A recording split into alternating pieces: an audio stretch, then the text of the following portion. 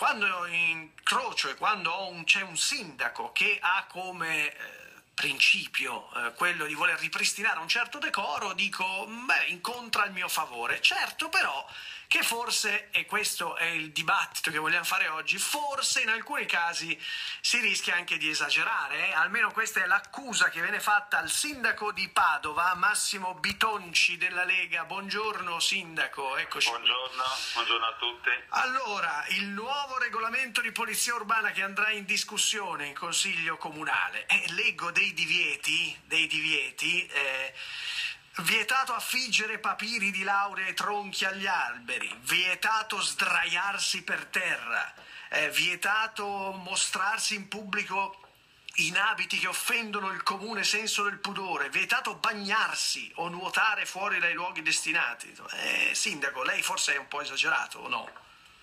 Eh, guardi, perché eh, come è noto io ho già fatto il sindaco per molti anni anche su un'altra città e avevo applicato dei regolamenti di polizia eh, municipale molto simili a questo, eh, da cui ho tratto anche questo.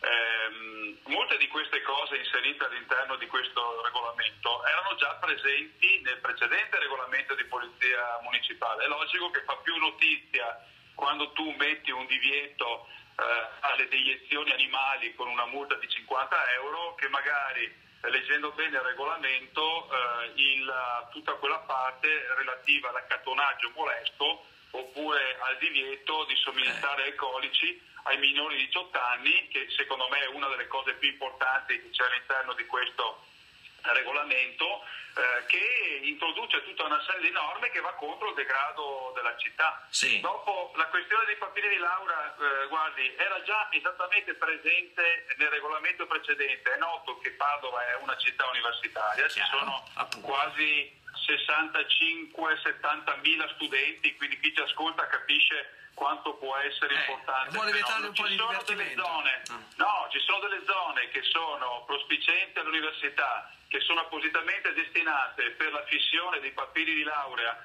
e per diciamo, quelle feste che si fanno quando uno eh, si laurea, è ingiusto eh, che vengano attaccati papiri eh, in tutta la città. Si anche Quindi lanciare bisogna, uova, farina. Bisogna anche eh. leggerlo in questo senso il regolamento. Ma è chiaro, guardi, però l'hanno accusata di volere un po', come dire, di essere un censore della goliardia, di essere un censore del, del insomma, di, di, avere un po' esagerato. Ecco. Ma guardi, come è noto, noi poi ci conosciamo, insomma, io non banalizzo mai i problemi e penso di essere stato forse il primo sindaco che ha introdotto un'ordinanza sulla sicurezza pubblica nel 2007 che ha fatto eh, scalpore, quella sul limite di reddito per la residenza, sul controllo, sul controllo, del sovraffollamento degli alloggi che mi è costata anche un avviso di garanzia per questo, no?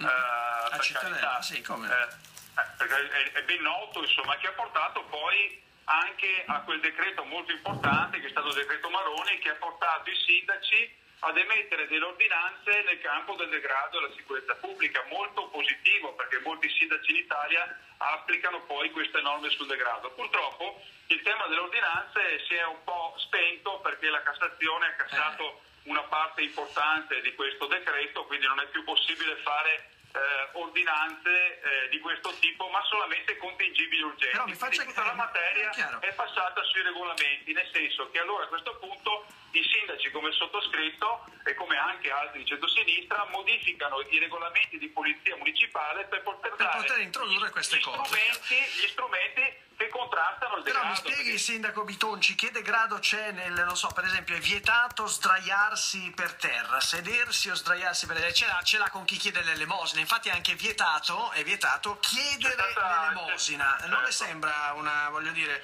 qua si va proprio a intaccare anche la, la, la... ci sono delle persone anche, alcune sono sfruttate, il racket e questo senza dubbio va stroncato il racket, ci sono persone che chiedono l'elemosina perché ne hanno bisogno.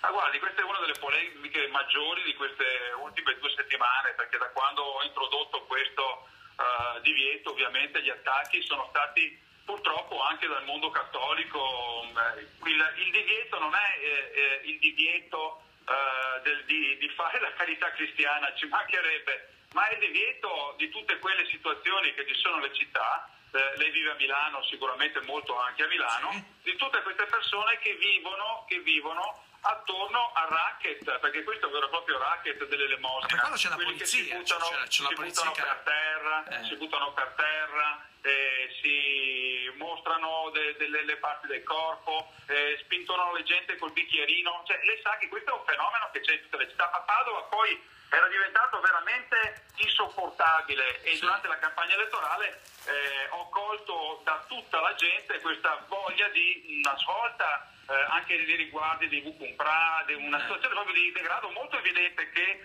c'era a Padova e devo dire eh, che eh, i padovani in queste settima- settimane mi stanno molto sostenendo. Ieri, ieri eh, ehm, camminando per strada non c'era persona che non mi fermava e mi diceva Ha "Avanti, fatto bene, ha sindaco, fatto bene." ha fatto bene, Però- con lei, eravamo stanchi, Eh, avanti così. Però